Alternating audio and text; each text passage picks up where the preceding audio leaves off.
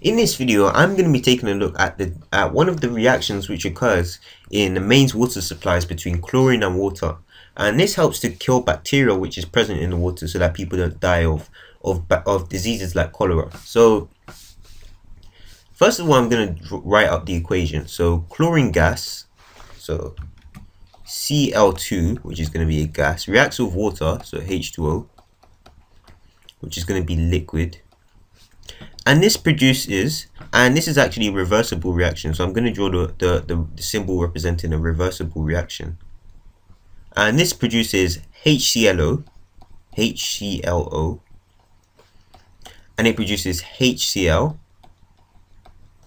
and and yeah that's what it produces. So these these two are going to be aqueous aqueous. Now if we take a look at the oxidation numbers in this reaction for chlorine specifically, uh, the oxidation number of chlorine, since it's not combined to any different element, is going to be zero here. And here is combined with hydrogen and oxygen. And so the oxidation number of chlorine is going to be um, plus one. Because oxygen is going to be 2 minus, so 2 minus, and then hydrogen is going to be uh, plus 1. So it's a neutral molecule. So chlorine is going to have an oxidation number of plus 1. And here it's going to have an oxidation number of minus 1. And from these two values, it, it, this this shows us that it's first of all it's been oxidized and its oxidation number is increased, and it's also telling us that it, chlorine has been reduced because its oxidation number has decreased in HCl. And so therefore from this I can tell that this is a disproportionation reaction. Dispro proportionation reaction. Since chlorine has been both oxidized and reduced.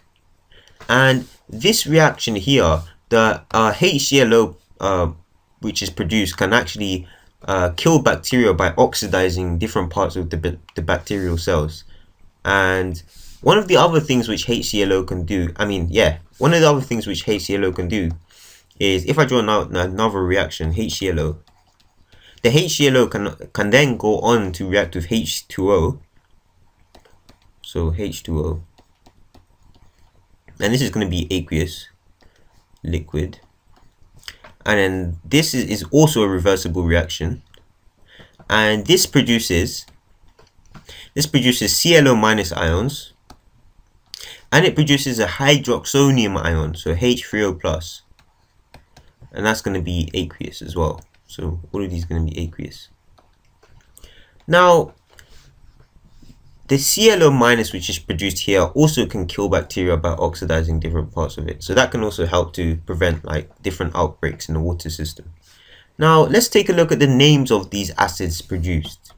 So this here is going to be a chlor uh, uh, chlor chlor chlorate ion C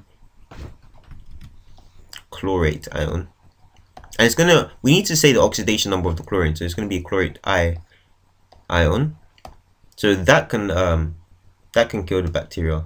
And this is gonna be a this has two names actually. The first name is a uh, chloric acid. So this is basically chloric acid.